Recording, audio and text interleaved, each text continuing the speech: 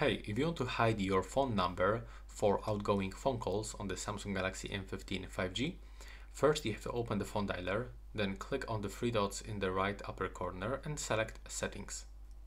Now you will have to scroll down and open Supplementary Services.